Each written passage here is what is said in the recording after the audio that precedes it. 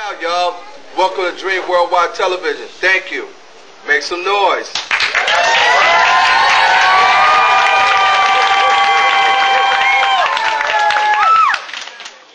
On today's show, we have Miss Beverly Broadus Green. My main objective is to entertain you, inform you of some beautiful things that's going on in the neighborhood.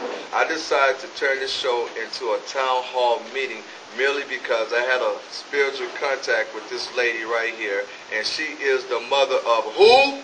That's right there.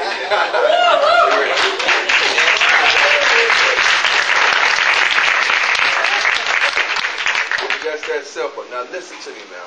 I'm saying of all places and all places to be and, person to talk to, you talking to me is a blessing. All right, I'm still walking on cloud nine since last week. How you doing?